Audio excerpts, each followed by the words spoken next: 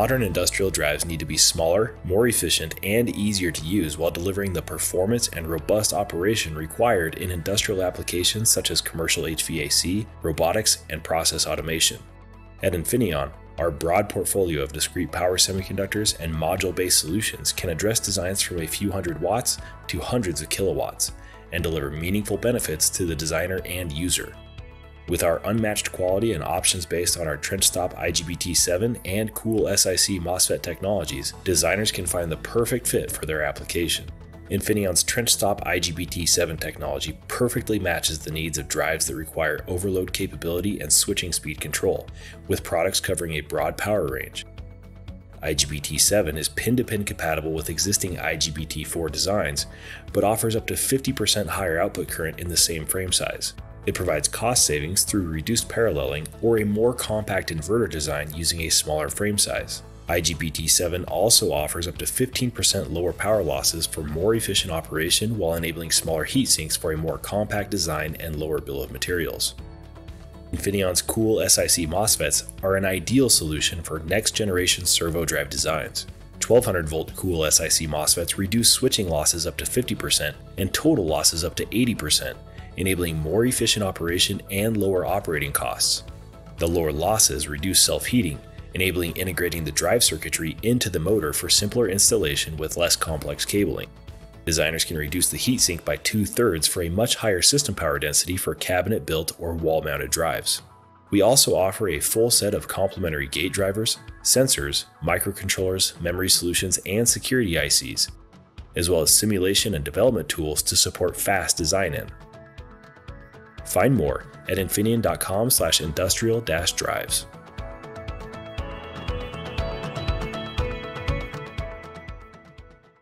thì hôm nay thì uh, công ty của em là công ty MyWay Plus thì cũng có tài trợ cho cái webinar.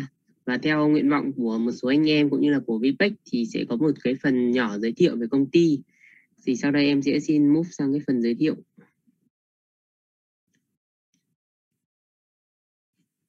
À, vâng thì công ty là tên là công ty MyWay Plus thì công ty thì uh, hiện là đang đặt đây là cái bản đồ của Nhật uh, Nhật Bản À, em xin lỗi là mọi người có nhìn thấy màn hình xe và nghe rõ em nói không ạ?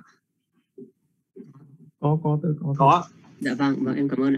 Thì à, đây là à, Yokohama. Thì công ty hiện là đặt à, văn trụ sở chính thì ở Yokohama.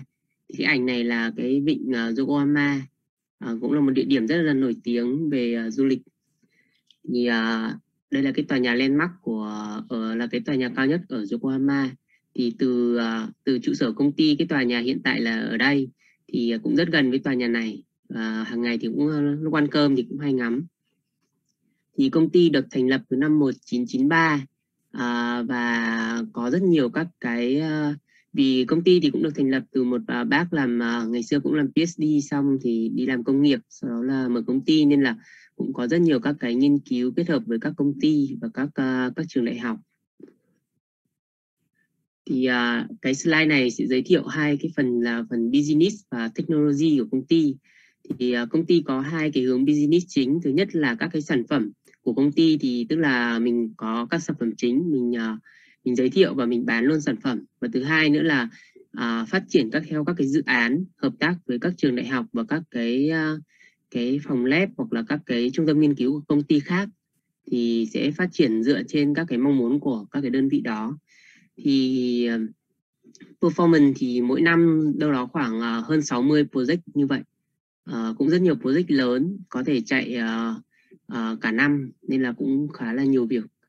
Uh, cái technology thì uh, công ty cũng focus vào cái hướng power electronic thì cụ thể là power circuit design and control à, thứ hai là công ty tập trung vào cái hướng là tốc độ điều khiển high speed control.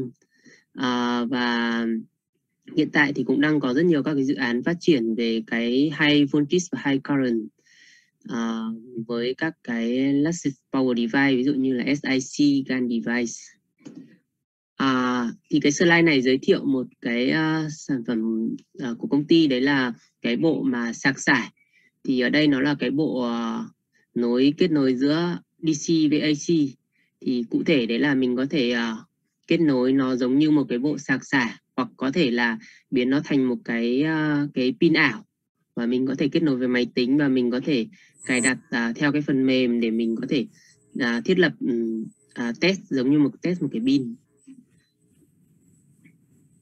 Uh, cái bộ này thì đồng thời mình cũng có thể là giả lập nó thành một cái cái hệ thống pin năng lượng mặt trời và mình có thể uh, kiểm nghiệm cái thuật toán điều khiển của mình cho hệ thống năng lượng mặt trời. Và khi mà mình ghép nhiều các cái module nhỏ thì mình có thể có những cái bộ lớn với dòng lớn và điện áp cao. À, cái đây là cái uh, sản phẩm. À, tiếp theo thì cái này là motor evaluation system. Thì cái này à, đây là một cái mô hình giống như là để mình kiểm nghiệm cái hệ thống motor. Thì khi mà các công ty có các cái sản phẩm hoặc là các cái cái thuật toán điều khiển motor mình muốn kiểm nghiệm thì rất là tiện dụng khi mà mình sử dụng cái hệ thống uh, test này. Thì mình có thể cài đặt các cái thuật toán điều khiển của mình vào và mình có thể kiểm nghiệm ngay uh, cái chất lượng của của motor cũng như là cái thuật toán điều khiển của mình. Uh, cái sản phẩm tiếp theo thì là à, ở đây thì có cái bộ uh, uh, Expert 4 là cái sản phẩm mà bộ điều khiển uh, tốc độ cao. Nó kết hợp giữa DSP và FPGA như vậy mà mình có thể cài đặt được rất nhiều mình có thể cài đặt được các cái thuật toán điều khiển và cũng có thể đáp ứng tốc độ điều khiển rất là nhanh. Thì uh, nó sẽ được có thể áp dụng vào ví dụ những cái mô hình ở đây mình sử dụng sản phẩm công ty thì có thể là power supply rồi inverter. Thì các công ty cũng phát triển rất nhiều các cái module inverter từ 50 kW đến và vài trăm kW và và cao hơn nữa. Thì ví dụ như ở đây là một cái à, cái inverter 50 kW sử dụng SiC mà cũng đã thương mại từ khá lâu của công ty. Thì uh, một cái mô hình uh, inverter như thế này và mình có thể kết nối và kiểm nghiệm được cái motor của mình. Thì uh, cái slide này thì uh, trình bày uh, uh, sâu một số các cái uh, khách hàng của công ty hiện tại thì có hai nhóm. Thứ nhất là nhóm về các công ty thì uh, rất nhiều các cái tập đoàn uh, lớn. Thứ hai là các trường đại học các viện nghiên cứu thì cũng rất nhiều nơi sử dụng sản phẩm công ty và có đang có hợp tác các cái dự án cùng phát triển. À, đây là một số một số cái event của công ty thì công ty cũng có phát triển nghiên cứu và cũng có tham gia các cái hội thảo rồi forum rồi exhibition rồi tại công ty thì cũng có các cái seminar. Thì ví dụ như là uh, giáo sư Akagi thì cũng thường xuyên uh, là là cố vấn của công ty nên cũng thường xuyên trao đổi và có thể họp với công ty uh, thảo luận các cái vấn đề về kỹ thuật.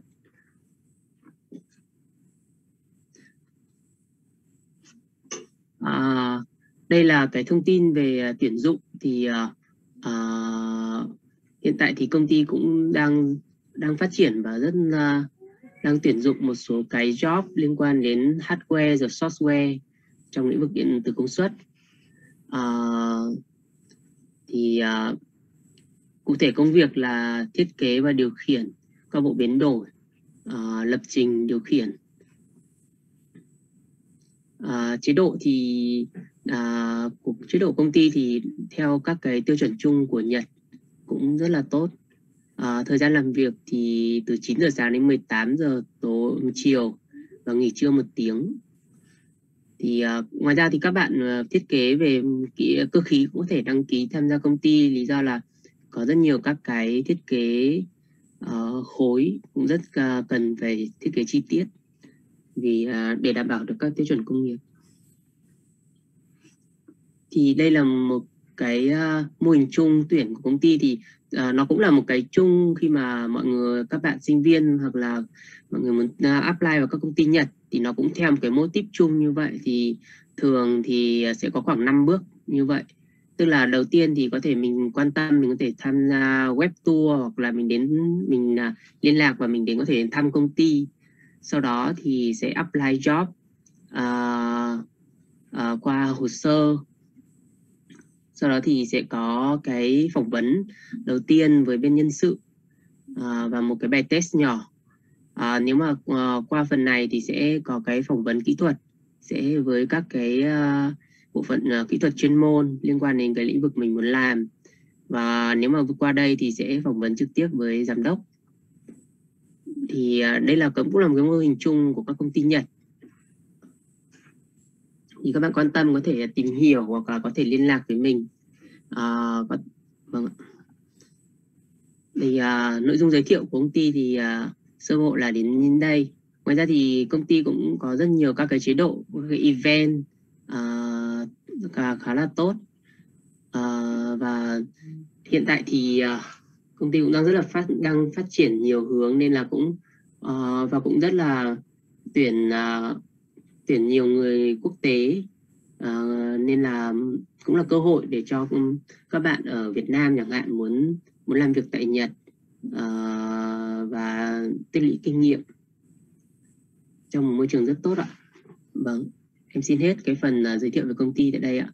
Thì uh, chắc là xin uh, một phút thôi để có thể anh chị em nào quan tâm thì có thể đặt câu hỏi tại đây hoặc là liên lạc ạ.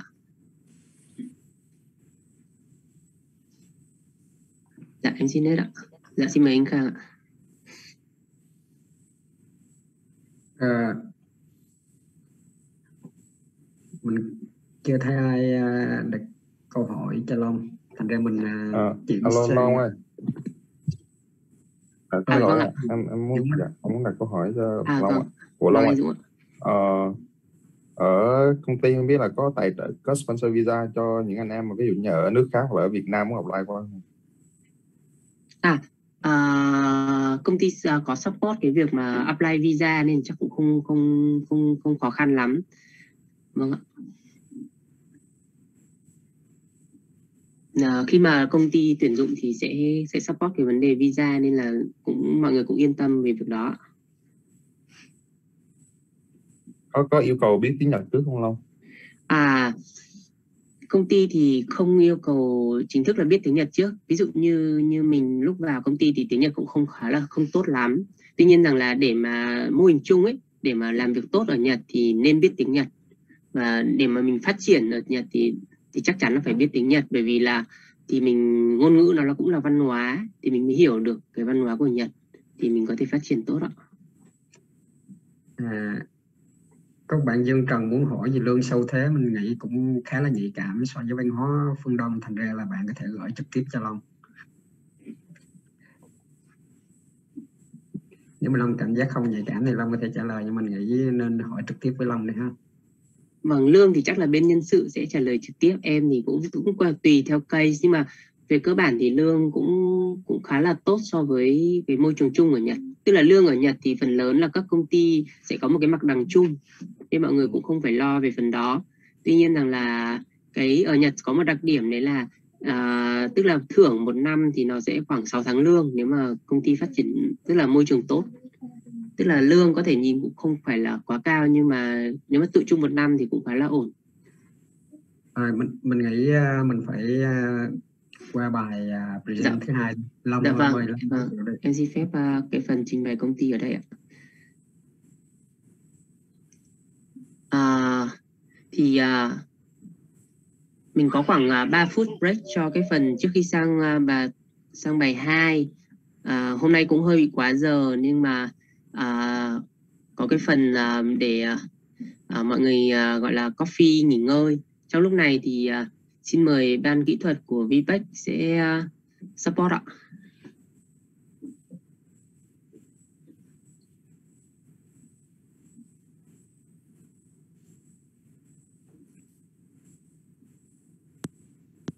Modern industrial drives need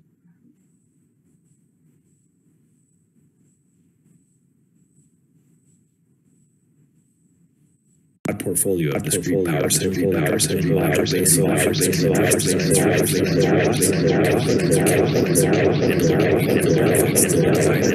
solutions.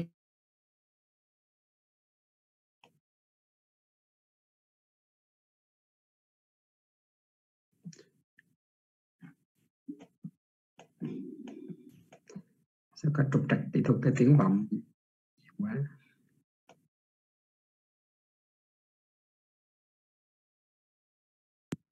cool SiC MOSFET technologies, modern industrial drives need to be smaller,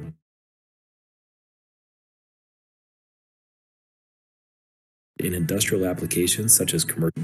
Modern industrial drives need to be smaller, more efficient, and easier to use while delivering the performance and robust operation required in industrial applications such as commercial HVAC, robotics, and process automation. At Infineon, our broad portfolio of discrete power semiconductors and module based solutions can address designs from a few hundred watts to hundreds of kilowatts and deliver meaningful benefits to the designer and user.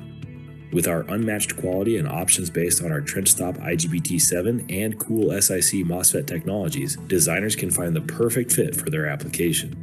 Infineon's trench stop IGBT7 technology perfectly matches the needs of drives that require overload capability and switching speed control, with products covering a broad power range.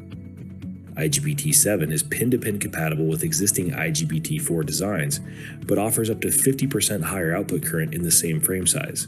It provides cost savings through reduced paralleling or a more compact inverter design using a smaller frame size. IGBT7 also offers up to 15% lower power losses for more efficient operation while enabling smaller heat sinks for a more compact design and lower bill of materials. Infineon's cool SiC MOSFETs are an ideal solution for next generation servo drive designs. 1200 volt cool SiC MOSFETs reduce switching losses up to 50% and total losses up to 80%, enabling more efficient operation and lower operating costs. The lower losses reduce self heating, enabling integrating the drive circuitry into the motor for simpler installation with less complex cabling. Designers can reduce the heatsink by two thirds for a much higher system power density for cabinet built or wall mounted drives. We also offer a full set of complementary gate drivers, sensors, microcontrollers, memory solutions, and security ICs, as well as simulation and development tools to support fast design in. Find more at infineon.com slash industrial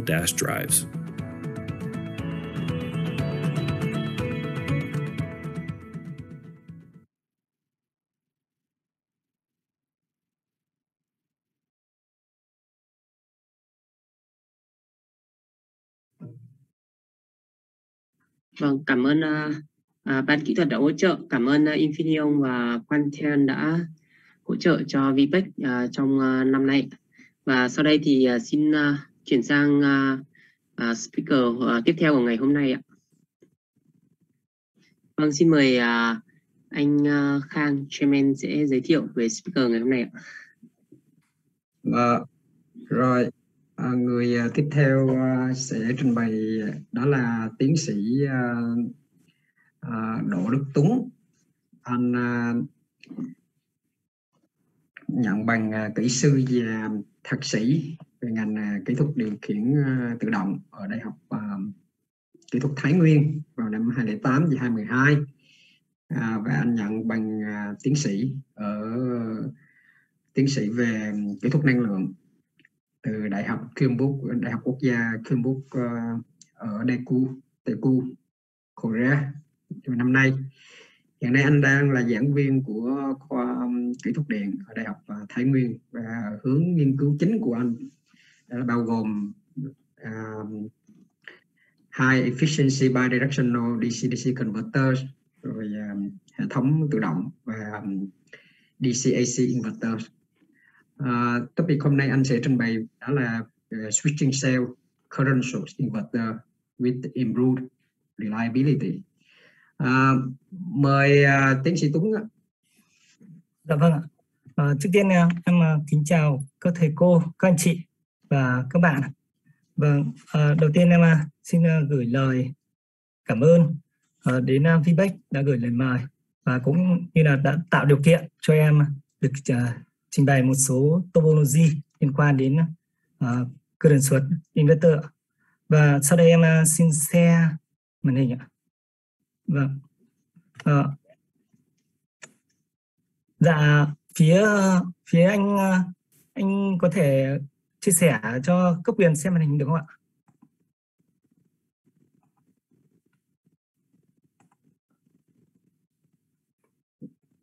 Dạ. Vâng phía anh Khang ờ, nghe rõ tín hiệu ạ. Ở chỗ em à. dạ em không xe được. À vâng ok ạ. Ok. Rồi ạ. Vâng. Thì uh, em uh, xin phép được trình bày cái nội dung hôm nay. Thứ nhất là em dành ít phút giới thiệu về trường đại học kỹ thuật công nghiệp uh, đại học thái nguyên sau đấy em sẽ giới thiệu về cái digital background cũng như là tiếp theo là trình bày hai cái bubble topology đó là single phase dual output sale cơ đường suyđiện emitter và three phase for lab suy trình sao cơ đường suất emitter và cuối cùng là phần kết luận. Thì uh, em uh, xin giới thiệu chút về trường uh, Đại học Kỹ thuật Công nghiệp Đại học Thái Nguyên để nơi em đã từng học và hiện nay đang công tác ạ về vị trí địa lý thì uh, trường nằm ở uh, thành phố Thái Nguyên cách thủ đô Hà Nội khoảng 70 km và đây là một trong uh, giờ hình ảnh một, uh, của uh, khuôn viên trường. Về các ngành đào tạo thì trường đào tạo 18 ngành và uh, trong đó có nhiều khoa chuyên môn uh, đảm nhiệm cái uh, nhiệm vụ nghiên cứu và đào tạo. Trong đó có khoa điện nơi mà em uh, đang công tác và trên hình ảnh là uh, một số ờ, thầy cô giảng viên khoa điện. Uh, cái về hoạt động nghiên cứu khoa học thì nhà trường tổ chức rất nhiều hoạt động nghiên cứu khoa học và trong đó phải kể đến là cái hội thảo quốc tế ờ, hàng năm được tổ chức vào đầu tháng 12 và nhà trường cũng rất là nhiệt liệt uh, hoan nghênh là các anh chị uh, các thầy cô và các bạn uh, gửi bài cũng như là tham dự cái hội thảo này để là một cơ hội để trao đổi học thuật còn uh, ngôi trường thứ hai mà em đã từng học tập và làm việc uh, và nghiên cứu đó là đại học Kyung thì vừa rồi uh, bạn đại presenter thứ nhất đã uh, trình bày rồi thì em à, không giới thiệu sâu nữa và em cũng vừa tốt nghiệp ở trường Keybook uh, và cùng từ lab của uh, giáo sư Honey Ông Cha và cùng lab với bạn đại đang nghiên cứu ạ. Vâng. Sau đây em đi vào nội dung uh, chi tiết của cái phần trình bày hôm nay ạ. Thứ nhất là digital background thì uh, ta thấy là trong công nghiệp uh, hay sử dụng cái bộ voltage suột và current suột inverter thì về so sánh thì hai bộ này thì uh, so sánh với voltage suột inverter thì current suột inverter thì ở đây cái uh, giá trị cái điện cảm mà uh, cái, cái inductor sử dụng trong cái uh, current suột ấy thì có cái tuổi thọ là, và cái độ tin cậy là lớn hơn so với cái tụ điện sử dụng trong cái uh, tiền source inverter và cơ current source inverter thì cũng có rất nhiều ứng dụng trong các lĩnh vực như là hệ thống PV, grid connection system hay motor drive hay wind energy conversion system. Thì ở đây các cấu hình mà phổ biến của cơ current source inverter thì ta có thể thấy là cấu hình ờ, single phase và cấu hình ờ, three phase. À, tuy nhiên ấy, một trong những cái vấn đề tồn tại ở các bộ current source emitter đó là vấn đề open circuit uh, lúc làm và reliability uh, thì tức là ở đây uh, uh, cái vấn đề open uh, open circuit lúc làm ở, ở đây nghĩa là uh, khi mà có cái sự bitmap uh, hoặc là đột nhiên các tín hiệu điều khiển của các khóa này mà đột nhiên bị mất ấy, thì sẽ xảy ra cái hiện tượng là hở mạch và uh, sẽ gây ra cái điện áp đặt trên các uh, switch này. Và cái nữa là trong khi mà uh, tạo cái tín hiệu điều khiển cho uh, cái current uh, các khóa ở đây ấy, thì người ta thường ép thêm một cái uh, overlap time giữa các tín hiệu này vào để uh, và cái việc add thêm cái overlap time này thì sẽ gây ra cái distortion của output waveform. Thì có rất nhiều tài liệu nghiên cứu và chỉ ra cái ảnh hưởng của overlap time đối với uh, cái uh, output waveform. Uh, và để cái khắc phục cái hạn chế đó thì uh, Professor Phan Thanh Beng có giới thiệu cái cấu hình switching cell. Và ở đây cái cấu hình này gồm có hai dạng là B cell và N cell uh, được mắc như trên hình.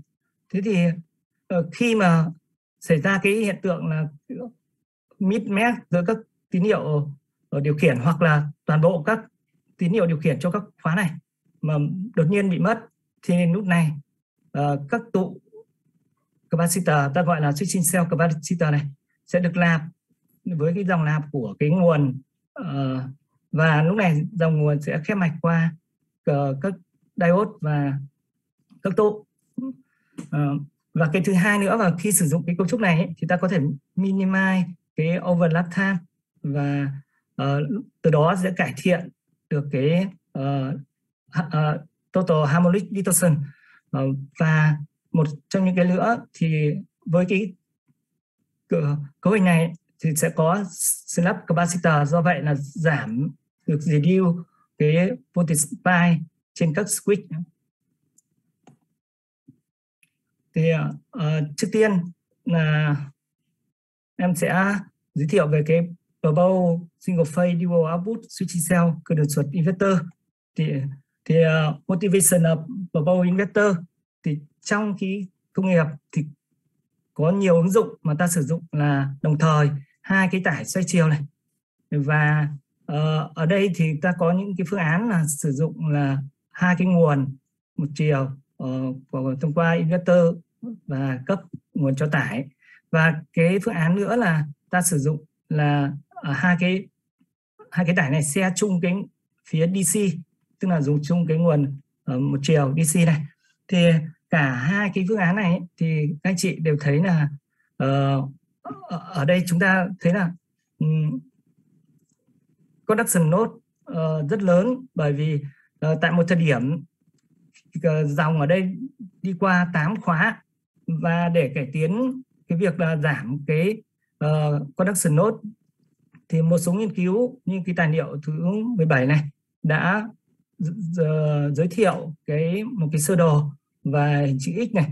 Và ở đây trong một thời điểm thì chỉ còn 6 cái khóa dẫn. Tuy nhiên ấy, thì những cái sơ đồ này vẫn còn cái nhược điểm là số khóa mà dẫn dòng uh, tại một thời điểm là lớn. Và cái thứ hai nữa là vẫn phải uh, vẫn phải đối mặt với cái vấn đề là open circuit problem. Uh, ta có thể để ý trên hình khi mà đột nhiên các khóa này mà mất tín hiệu thì toàn uh, thì ở đây sẽ tạo ra cái điện áp lớn đặt trên cái các cái khóa và sẽ phá hủy các khóa. Và cái vấn đề nữa là ta khi mà tạo tín hiệu điều khiển ấy, ta phải ép thêm một cái giá trị overlap time vào. Thì những cái overlap time này sẽ gây ra cái distortion ở cho uh, uh, đối với cái uh, output waveform như trên hình. Thì uh, để khắc phục cái điều đó thì uh, chúng ta trên cơ sở là cái single phase uh, inverter thì ta ép thêm một cái nhánh vào một cái nhánh này vào. Và lúc đó thì ta sẽ có là hai cái output này sử dụng uh, chung uh, tức là xe chung cái uh, nhánh nhánh B ạ. Và từ đấy thì ta bầu bầu cái cấu hình là uh, sing, uh, single phase dual output switching cell cơ dần suất inverter. Uh, thì cái cái uh, mô tả rõ cái cấu hình này đã được uh, em uh, trình bày rõ trong cái bài báo này. Uh, tuy nhiên ở đây em uh, khái quát sơ qua về cái ưu điểm của cái cấu hình này. Đó là giảm số khóa uh, tức là giảm từ số khóa ở đây ta do là ta xe sử dụng chung cái nhánh B này do vậy giảm số khóa cái thứ hai nữa là giảm cái conduction node.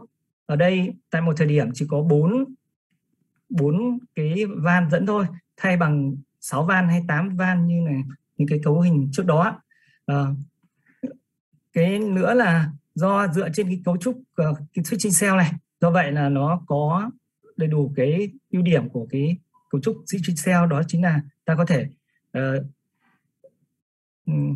và ờ, giảm được cái giá trị overlap time mà ta ép vào các tín hiệu điều khiển các khóa. Cái thứ hai là giải quyết được bài toán là open circuit problem. Và từ đó là ờ, ở đây ta sẽ có là cải thiện cái chất lượng điện áp đầu ra. Về cái vận hành của cái ờ, uh, bubble inverter này thì uh, về tín hiệu điều khiển ở đây vận hành ta có hai chế độ đó là chế độ ờ, uh, CF1 tức là ở hai cái đầu ra xoay chiều này có cùng tần số và biên độ của, uh, có thể khác nhau. Và cái thứ hai là chế độ DF1 thì ở đầu ra xoay chiều này thì khác nhau cả về giá trị uh, tần số và giá trị biên độ. Thì uh, trên hình đây là thể hiện cái cái tín hiệu đặt ừ, tín hiệu different cho các khóa ở, ờ, ừ, ở, ở ở nhóm trên và các khóa ở nhóm dưới. Thì khóa nhóm trên ký hiệu là uh, chấm up và khóa dưới là down. Thì ở đây để tránh cái việc là modulating wave interference thì ở đây ta phải add thêm một cái giá trị là offset vào trong cái tín hiệu điều khiển này. Và uh, ở đây thì ta sẽ có cái cấu trúc cái uh, cái việc so sánh giữa cái tín hiệu different với cái sóng mang thì ờ, như trên hình ạ. Và cái giá trị offset này sẽ thỏa mãn cái biểu thức này. Và từ đây ta sẽ có được là cái tín hiệu đặt cho các uh, các khóa này tổng hợp các tín hiệu đặt cho ờ, các khóa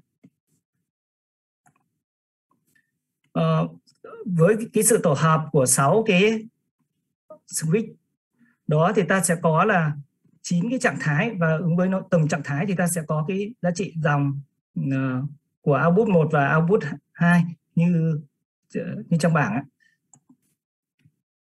thì ở đây về khía khía cạnh uh, cải thiện độ tin cậy thì trong những cái bộ mà uh, conventional dual output cơ suất inverter ấy thì khi có cái sự mismatch giữa các tín hiệu điều khiển hoặc là các tín hiệu điều khiển cho các khóa này đột nhiên mà mất ấy, thì sẽ không có cái đường khép mạch cho cái dòng điện nguồn. À, còn ở trong cái bubble inverter của chúng ta ấy, thì uh, ta sẽ khi đó dòng điện sẽ khép mạch qua các diode và các tụ điện ở uh, switching cell capacitor này và khi đó điện áp tăng trên cái switch capacitor này sẽ được tính toán theo cái công thức này phụ thuộc vào cái giá trị uh, dòng điện nguồn và uh, cũng như cái giá trị dung lượng của tụ điện uh, C1, C2 cũng như là cái thời gian mà xảy ra cái uh, sự cố đấy ạ.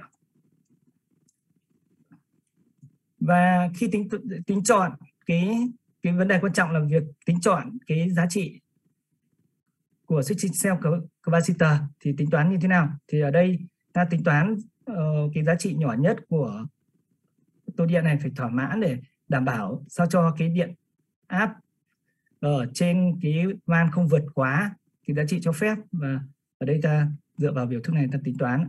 Trong đó cái uh, một 1p và v 2p là cái giá trị peak voltage của cái output 1 và output 2 còn cái giá trị v svk max chính là cái giá trị là điện áp lớn nhất của khóa mà ta tính chọn này.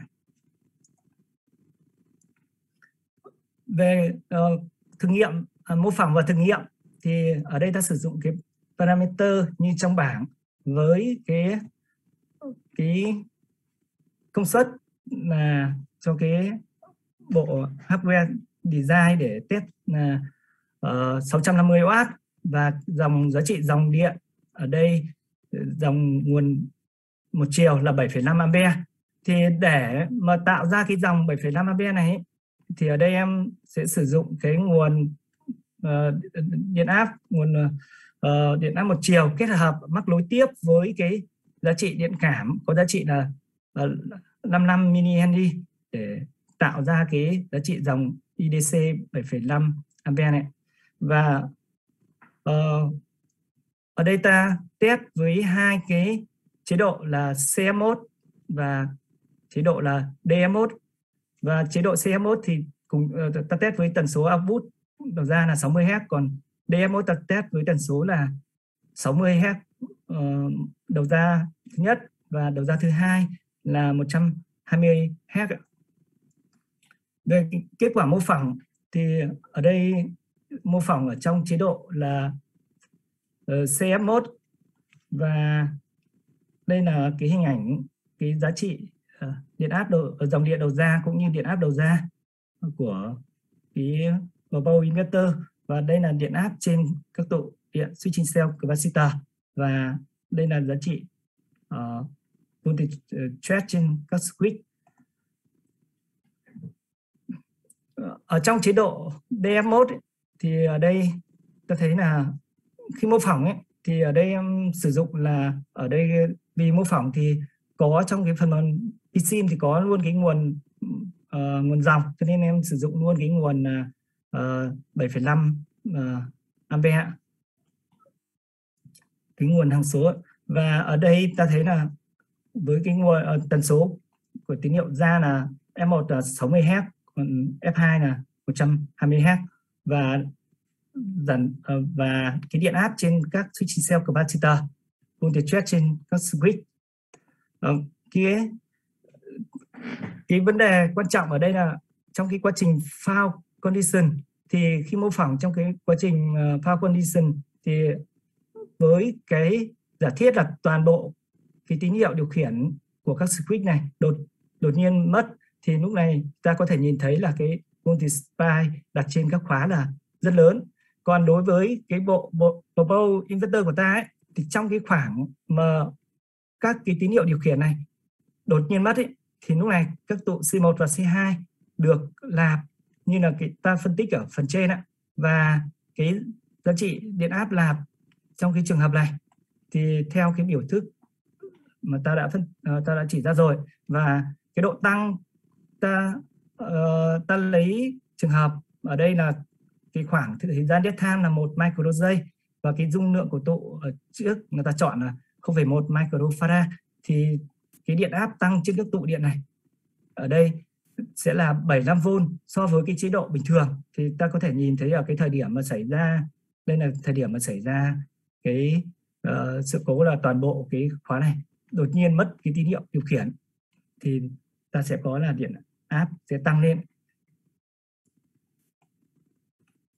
Về thử nghiệm thử nghiệm ở đây thì em chạy cho cái bộ conventional ờ, uh, dual output với cái overlap time là 0,8 uh, ờ, ờ, micro giây. Còn uh, bộ bộ thì uh, là 0,3 micro giây thì ta sẽ thấy là khi giảm cái overlap time thì cái uh, cái TSD sẽ được giảm và ta thấy rõ và ở đây uh, em đo sử dụng máy uh, để đo ta được cái tổng cái TSD uh, của cái uh, đầu ra 1 và 2 thể hiện trong hai trường hợp thể hiện như trên hình ạ. Về cái voltage spike trên các circuit đối với so với các bộ conventional ấy, thì cái bộ ờ, uh, bubble inverter của ta ở đây giảm được cái voltage spike trên ờ, uh, circuit này. Là do là có cái slab capacitor như uh, ta chú ý ở đây ấy, thì sẽ minimize được các cái loop này các hai frequency loop này và từ đấy sẽ giảm được cái uh, voltage spike trên các uh, các khóa. Ờ, còn ở trong chế chế độ là DF1 tức là uh, hai cái đầu ra khác nhau về tần số thì tương tự ta, uh, ta cũng test và cầm form uh, uh, cái chế độ vận hành với uh, CM1 và ta cũng uh, có cái giá trị điện áp trên các khóa cái voltage spike cũng giảm. Về cái hiệu suất uh, tiến hành đo khi mà so sánh với các bộ conventional thì ta thấy rõ là đối với bộ Power inverter là ta thấy rõ là uh, cải thiện được cái hiệu suất lên là đến uh, 93% trong cái giải công suất mà ta thiết kế. Thì đấy là về cái bộ single phase dual output cơ tần suất inverter ta sang cái bộ tiếp theo là bộ bộ three phase for LED chỉ cell cơ tần suất inverter. Thì uh, motivation của uh, của bow inverter thì uh, ở đây bộ the three phase uh, inverter three phase current source inverter được sử dụng rộng rãi. Tuy nhiên ấy, uh, cái bộ three phase current source inverter này gặp phải một cái hạn chế đó là cái common mode voltage uh, của cái bộ này là tương đối lớn và để giảm cái common mode voltage ấy, thì uh, uh, tác giả là Rao uh, trong cái Diffident 25 này đã giới thiệu một cái cấu trúc là three phase forlet uh, cơ dần suất inverter. Với cái cấu trúc này thì về cái phương pháp uh, điều khiển là giống như là three phase uh, inverter. Tuy nhiên ấy, uh, three uh, ở đây to say for forlet thì khi mà thực hiện cái vector không này thì thay bằng các khóa ở các nhánh A, B, C cùng dẫn thì ở đây là khóa ở nhánh D dẫn. Tuy nhiên ý, cái điểm chung của hai cái sơ đồ này thì ừ, vẫn tồn tại cái vấn đề là cái open circuit lúc rầm. Và cái thứ hai nữa là khi mà ta tạo tín hiệu điều khiển cho các uh, khóa này thì ta phải add thêm một cái overlap time giữa các uh, tín hiệu điều khiển giữa các khóa. Và ở đây cái overlap time thì sẽ gây ra cái distortion như ở trong cái tài liệu 37 này đã giới thiệu. Và ở trên hình này ta thấy được là trong khi ờ, khi mà các khóa đột nhiên mà mất tín hiệu điều khiển thì ở đây lúc này dòng điện nguồn không có cái đường khép mạch và lúc đó sẽ gây ra cái giá trị điện áp cao trên cái switch và có thể dẫn tới phá hỏng các switch này nếu không có bảo vệ. Thì uh, trên cơ sở cái thi phay forlet ở cái tài liệu 37 này giới thiệu thì ờ, ở đây chúng ta đơn giản là đổi cái vị trí, cái khóa 7 cái switch 7 và diode 7 và tương tự như vậy. Đổi vị trí của các cái khoán ở nhóm này. Thì sau đó ta ép các tụ vào thì ta sẽ được cái cấu trúc là three phase forex switch cell cơ suất inverter thì ờ, cái phần topology này thì em đã trình bày cũng Ờ, rất kỹ ở trong cái nội dung bài báo cũng vừa được public. Thì ở đây em cũng giới thiệu uh, sơ qua về cái topology này. Thì ưu điểm của cái topology này là vì nó dựa trên cấu trúc là switching cell current suất uh, ờ, inverter. Do vậy là nó vẫn mang đầy đủ cái uh, ưu điểm của đó đó chính là có thể uh, loại bỏ được open circuit lỗi lầm hay là minimize được cái overlap time giữa các uh, tín hiệu điều khiển của các switch này và uh, cải thiện được cái chất lượng điện áp đầu ra cũng như là giảm cái uh, spike của cái uh, trên các khóa. Về cái phương, uh, phương pháp điều khiển thì ở đây ta sử dụng space vector như là trong các uh, uh, cấu hình uh, conventional của three phase forlet ở đây ta sẽ có là Ừ, 6 cái sector này và dựa trên các ờ, uh, 6 cái vector cơ bản từ i1 đến ờ, uh, i6 và một cái vector không. Vector không này được tạo ra bởi là cái khóa F7 và F8 là cùng dẫn dòng.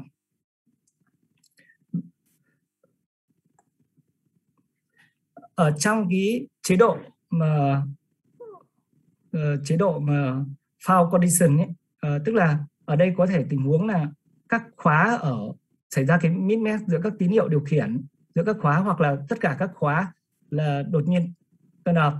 Thì ở đây trong trên cái hình bên tay trái này là hình ảnh mà ờ, ta lấy ví dụ minh họa cho cái chế độ làm việc. Khi mà đang ở cái sector thứ tư mà đột nhiên các khóa ở ở ở, ở phía nhóm trên này hay uh, không có tín hiệu điều khiển hay nói khác là cái sự mismatch giữa các tín hiệu điều khiển của các khóa ở phía trên thì tạo ra cái sự dead time thì toàn, lúc này toàn bộ những cái tụ ờ, ở nhóm switching cell ở nhóm trên này thì sẽ được làm với cái độ tăng điện áp trên các tụ được thể hiện như cái biểu thức này. Và tương tự trong cái trường hợp mà đang làm việc mà xảy ra cái hiện tượng là các khóa ở phía dưới là không có tín hiệu điều khiển hoặc cái mismatch giữa các tín hiệu điều khiển và các khóa phía dưới. Giả sử như là trên hình đây là ta vẽ cái sơ đồ thay thế mạch điện thay thế cho cái trường hợp mà khi mà ở sector thứ nhất phim F1 đang dẫn á, thì ở đây các khóa à, ờ, ở đây ờ, ta sẽ có dòng nguồn sẽ khép mạch qua các tụ điện ờ, các tụ điện ở từ C. C4 C6 và C2 này. Và cái điện áp trên tụ điện này sẽ tăng theo cái biểu thức như trên hình. Ờ, trường hợp là mà tất cả các switch đột đột nhiên mất tín hiệu điều khiển thì ở đây ta sẽ có là toàn bộ các tụ từ C1 đến C6 sẽ được làm với cái mạch điện tương đương như hình vẽ. Và cái giá trị tăng điện áp của trên tụ sẽ theo cái biểu thức này. Và khi tính chọn cái giá trị tụ điện switching cell capacitor này thì ta sẽ tìm được cái giá trị điện uh, tụ điện min dựa vào thông qua cái giá trị dòng IDC cái độ tăng điện áp trên tụ điện và cái giá trị uh, cái thời gian mà xảy ra cái uh, dead time ấy. Về mô phỏng và thực nghiệm thì ở đây ta sử dụng cái parameter như trên trên hình ạ. Ở đây uh, em design cái mạch với cái công suất là 1,2 kW và dòng input đầu vào là 10 mini uh, à, 10 ampe và cái giá trị điện cảm đầu vào ở đây là 6 mini Henry và cái uh, cái thời gian uh, cái overlap time uh, vận hành trong chế độ um, bình thường của bộ conventional là 2 micro uh, giây. Trong khi đó này vận hành trong chế độ bình thường của cái bubble topology thì là giảm đi 10 lần ở đây xuống còn 0,2 micro giây. Và cái khi chạy thực nghiệm thì chạy với dead time cho cái bộ bubble topology là một micro giây ở từng và xuất hiện một cái dead time này xuất hiện một lần ở trong từng sector. À, trước tiên là về mô phỏng làm việc ở chế độ bình thường với bộ conventional uh, conventional inverter thì ở đây uh, overlap time sử dụng là 2 micro giây và sóng 2 đo cho dòng pha là 3.5% còn đối, đối với bubble inverter thì ta minima cái overlap time này xuống còn 0,2 micro giây và cái sóng 2 giảm xuống còn 1,6%. ờ, mô phỏng cho cái trường hợp là ở, ở tín hiệu điều khiển của các khóa này đột nhiên là mất tín hiệu điều khiển, thì lúc này ta sẽ có là, lúc này ta sẽ không có cái đường dòng khép mạch qua đối với những cái bộ conventional cơ đường suất inverter. Và cái điện áp đặt trên các switch là rất lớn.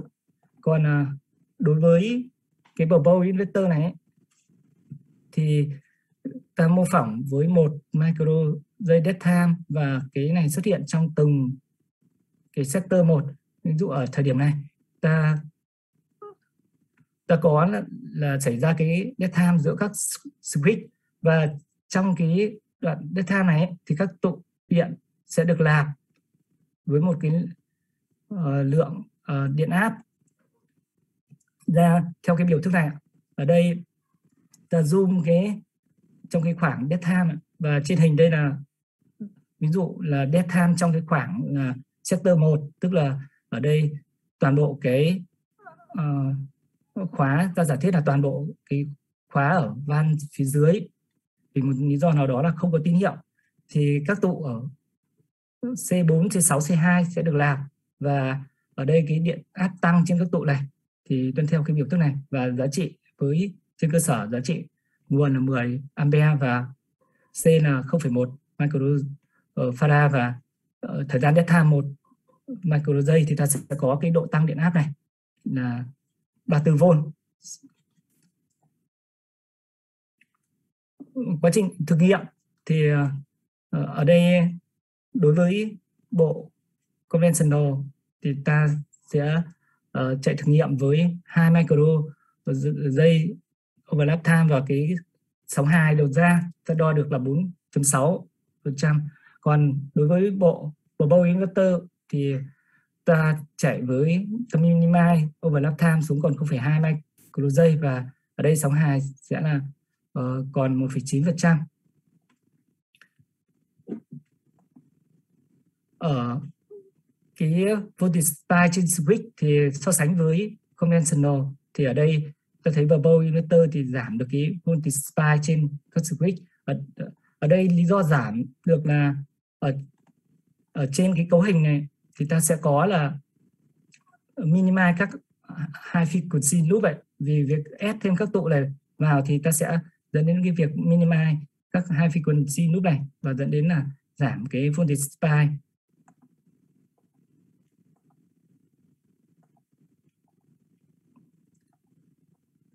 Và quá trình thử nghiệm ờ, ở đây chế độ bình thường ờ, thì ta sẽ có được cái điện áp trên tụ và với cái max cái giá trị lớn nhất bằng cái uh, giá trị lớn nhất của điện áp dây là 270 270V còn ở cái chế độ uh, power condition uh, tức là xảy ra quá trình dead, uh, xảy ra quá trình dead time ấy, thì ở đây uh, ta chạy với bộ bow inverter và ta thấy là cái chất cái điện áp cái tin uh, cái dạng sóng ra trong cái uh, chế độ power condition so với cái chế độ uh, uh, bình thường là uh, cũng tương đối.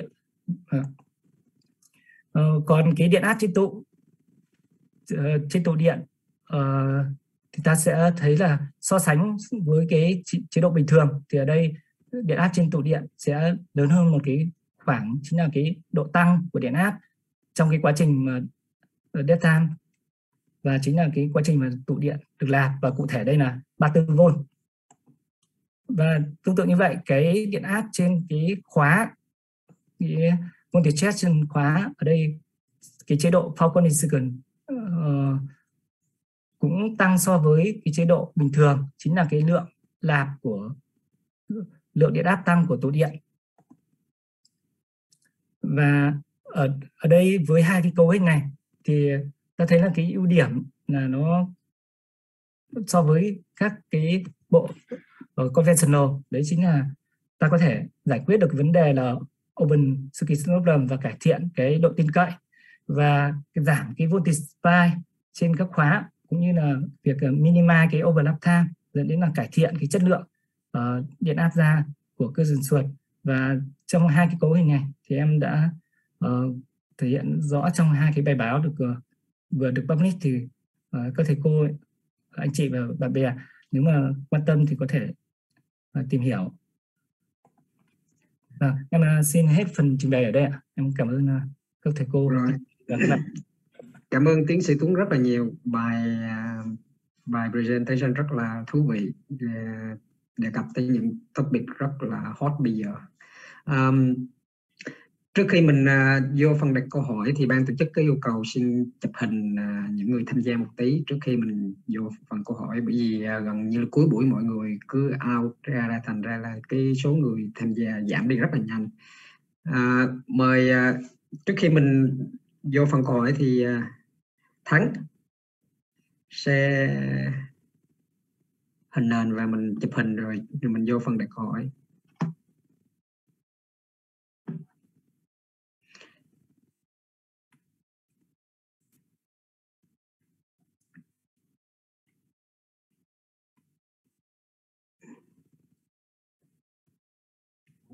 Alo anh Long ấy dạ. mời mọi người bật quay webcam lên ạ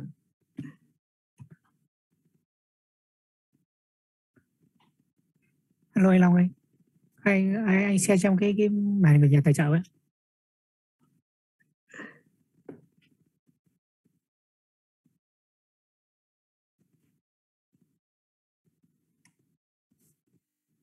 Dạ ok rồi ạ. Cảm ơn ạ.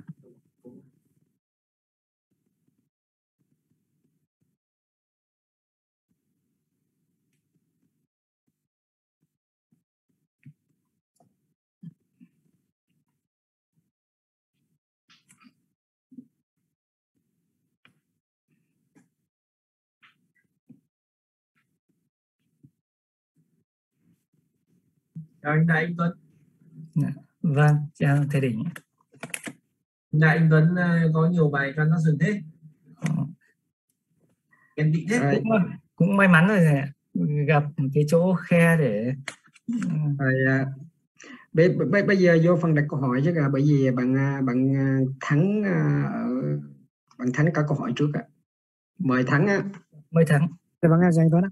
Anh. Tuấn cho em một chút là cái phần mà anh làm ấy thì à, à, là anh thêm cái capacitor và anh Ừ. thêm diode vào thì nó có thì cái voltage rating của các cái switch hay là diode của nó có giữ nguyên nó có giảm đi một nửa so với lại cái topology bề cũ hay không? Đấy là câu hỏi thứ nhất của em ạ.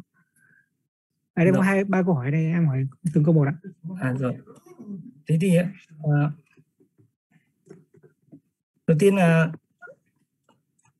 ở đây ờ, thứ nhất là dựa trên cái cấu hình của cơ đường suột ấy nếu ta không sử dụng ờ, cái ờ, uh, IGBT có ừ, có uh, blocking uh, voltage ấy, thì ở đây ta sẽ có là người ta thường sử dụng một cái switch nối nối tiếp với một cái diode này cái tác dụng của cái diode này để tránh cái revert voltage thế thì ở đây uh, uh, ta gọi là blocking diode ấy. thì ở đây cái cấu trúc của switch cell này ta chỉ ép thêm cái tụ này thôi ạ. Nhá. so sánh nếu mà so với cái cấu hình thường thì ta chỉ xét là ờ, uh, ép thêm cái tụ này chứ không phải là ta thêm cái diode. Đấy là sự so sánh về tương đương.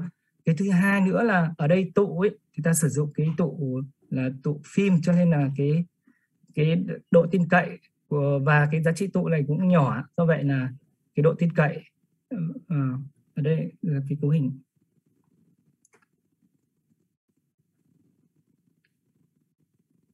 Đây ạ.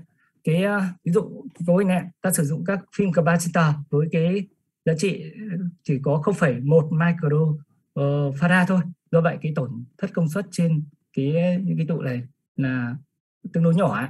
À, đấy là so với cái mạch xét so với cái truyền thống thì voltage rating của các cái switch thì nó nó ví dụ ở trong dòng này thì nó sẽ bằng Vin đúng không ạ? Ờ, vâng uh, vo, Vâng. voltage ở đây thì sẽ bằng Vin Ờ, bằng rồi bằng line to line voltage À, vâng vâng ok. line hiểu to line voltage À, Vâng. Câu hỏi thứ hai của em là, là không biết mạch này có thể hoạt động được bidirectional không ạ? Tại vì là mình có cái diode ở đây thì nếu mà hoạt động ở bidirectional em nghĩ là, Ờ. là, lúc đó thì phải phải thay cái diode bằng switch đúng không ạ? dạ à, à không ở cái chỗ phần nguồn nguồn dòng này ấy, thì nếu mà khi mà bản thân cái bản thân cái ở đây ta sẽ có là ờ, vì cái ờ, khi sử dụng cấu cấu trúc mà các switch này ờ, nối tiếp với cái di- diode này thì sẽ không cho cái giá trị dòng ngược lại và để cải thiện cái nhược điểm này thì một số cái cấu hình người ta đã đưa ra đối với cái cơ đường ruột mà sử dụng cái uh, uh, switch nối tiếp với diode này người ta sẽ mắc thêm một số cái vào và người ta thay đổi cái thuật toán điều khiển đi và sẽ sử dụng được ở chế độ bidirectional. Vâng, thì thì tức là để để hoạt động được uh, bidirectional thì mình cần phải thêm cái bi- bidirectional switch vào thay hoặc là mắc song song với diode hoặc là thay cái diode bằng cái bidirectional switch đúng không ạ? À, ở, ở đây thì có một số cái ờ, cấu hình ấy, thì ở đây người ta sử dụng cái switch thay bằng cái ờ, cái khóa hai chiều nhé. và Ừ. đồng thời tuy nhiên ý, ờ, người ta phải thay đổi cả cái thuật toán điều khiển người ta không sử dụng được thuật toán điều khiển này nữa nếu khi sử Vâng. dụng thuật toán điều khiển này thì người ta không còn ờ, không không làm việc được chế độ đó tức là người ta vừa thay khóa vừa ờ, mô- Vượt đầu và ra- đúng vừa thay đổi ờ, modify cái ờ, cái ờ, thuật toán điều khiển đi À, Vâng, vâng, em cảm ơn anh. Thực ra thì em thấy cái phương pháp của ấy, ờ, ờ, dùng cái phương pháp capacitor rất là hay ở cái chỗ là mình có thể withstand được cái open circuit. thì em thấy cũng là một cái rất là hay ạ dạ vâng câu hỏi em hết ạ Rồi. Rồi mời mời à, anh Đỉnh ở Bách Khoa Hà Nội ạ. À, cảm ơn anh Trang, cảm ơn uh, hai diễn giả cả anh, anh Đại cả anh, anh Tuấn. Hôm nay có định có câu hỏi cho anh Đại nhưng mà tiếc quá là không đủ thời lượng thì sẽ trao đổi sau. Ở đây sẽ xin phép trao đổi với anh, anh Tuấn một vài ý thế này. Ở đây anh Tuấn là dùng uh, MOSFET đúng không ạ? Thế thì À, anh có, có dùng MOSFET không ạ? Bởi vì theo em hiểu thì mô hình của một cái van IGBT ấy, thì có thể coi như tương đương với cả một con diode và nối tiếp với cả một con MOSFET như như thế này Ờ, Vâng. mình dùng, ờ, anh Tuấn đã thử cân nhắc là dùng IGBT À. vì tần số nó cũng không À. cao À, vâng, cảm ơn ờ, Đỉnh ở chỗ này. Thì ờ, ờ, nếu khi sử dụng IGBT sẽ uh, weed out được cái body diode này, thì lúc đấy sẽ ờ, ở đây khi mà chạy thực nghiệm ấy thì ờ, mình đã tính đến cái việc là sử dụng IGBT nếu như là cái mạch này mà cái hiệu suất mà nó không được tốt và cái ảnh hưởng ở đây thì sẽ có cái nếu khi sử dụng MOSFET ấy, thì sẽ có cái ảnh hưởng của cái body diode này. Uh, dẫn đến cái việc là các tụ các tụ phóng nạp xả trong cái quá trình uh, chuyển mạch ấy transient rồi ừ, quay đến cái phần thử nghiệm. Ta thấy cái điện áp trên các tụ đây ạ có cái phần này. Có cái cái phần điện áp như thế này ờ, chính là việc là phóng nạp qua cái body diode ạ nếu như là ta sử dụng là IGT ấy, thì sẽ không được không có cái sự phóng nạp như vậy và lúc đó thì có thể cải thiện được cái, cái công suất bởi vì cái tần trong cái khoảng tần số đồng cắt này IGBT với cái MOSFET thì uh, ở- đây um, đều 30 kHz thì IGBT uh, ờ, ok ạ. và ví dụ ngay như Infineon này họ giới thiệu đấy họ có cái SiC MOSFET ngoài ra thì họ cũng có cả những cái ờ, IGBT mà tần số cao. Nó có IGBT thông thường là khoảng 10 kg thôi 20 kg nhưng có cả những IGBT tần số cao từ 50 đến 100 kg cũng có. Thì em mới đang hỏi là anh đã thử cân nhắc xài IGBT chưa? Ở đây để thấy là dùng MOSFET À, cái ờ, cảm ơn đỉnh. Cái chỗ này thì ờ, ờ, nhóm nghiên cứu đã cân nhắc rồi và cũng đặt mua định thay thế cái MOSFET này bằng IGBT để xem xem cái hiệu suất thế nào so sánh thế nào? Thì cái quá trình phân tích và mô phỏng cũng khi sử dụng IGBT cũng làm xong hết rồi. Tuy nhiên là khi chạy thực nghiệm với MOSFET thì cái hiệu suất là cũng ờ, đạt cũng tương đối cao cho nên là ờ, ờ, khi public cái bài này thì cái sử dụng cái khóa này là uh, MOSFET ạ. Vâng vâng. Thế cái hiệu suất ở, đây thì anh đặt hiệu suất ở đây là ờ, rồi ở đây là khoảng 9 ờ, hơn 95 phần trăm ạ không nhớ- không nhớ rõ lắm ạ. à, vâng để xem cái hiệu suất vâng Ờ, đỉnh chờ chút ạ hiệu suất